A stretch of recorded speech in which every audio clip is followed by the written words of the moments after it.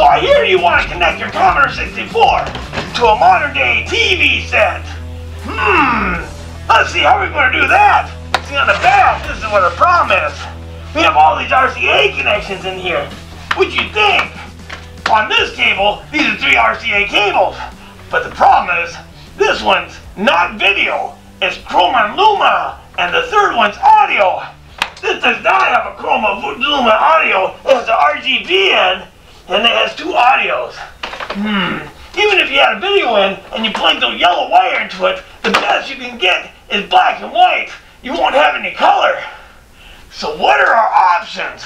Well, what if I took a coax cable and I connected one to the TV set?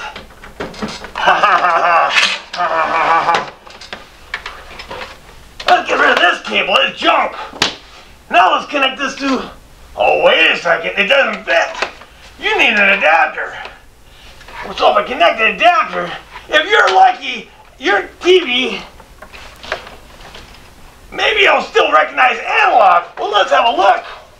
Where's my remote? Then do a channel scan. Takes a long time.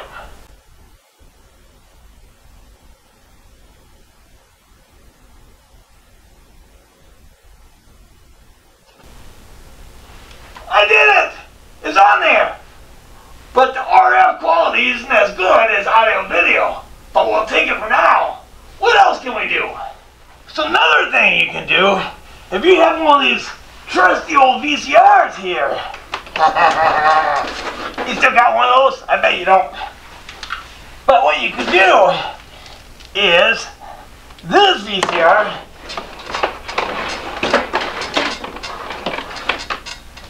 has an RGB out. All I have to do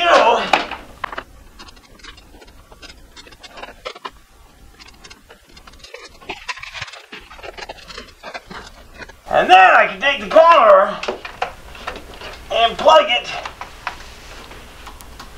into the VCR, which will convert it over to your TV.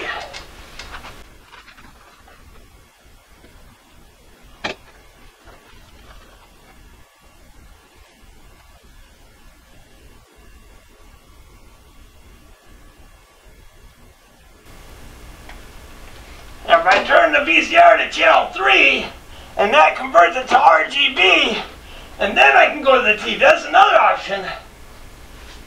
But what if you don't have a VCR? Well, see this cable right here? I bought it on eBay. You can also buy them on Amazon. Plug one side of a Commodore 64. And then it has a super video out or a video and two audios out. It's not in stereo, it just uses the same channel. However, if your TV has a super video in, maybe, maybe you can play it on that.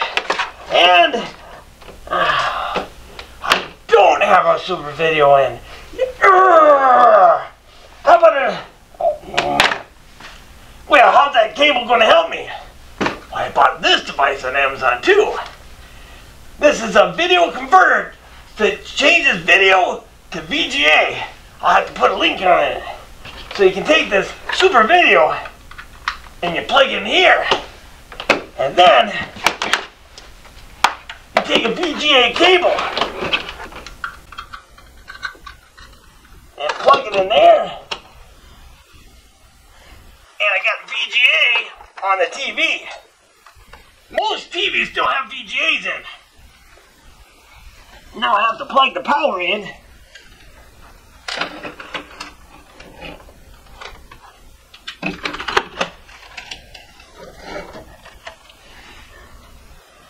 And then turn the TV.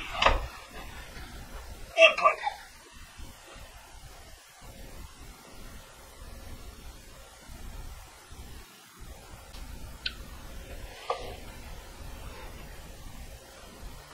And I got my Commodore 64 going. That's a better option. Looks more picture. But I have no audio. So I would have to take the two audios on here and run to a stereo or something. Hmm. Hmm. And there you have it.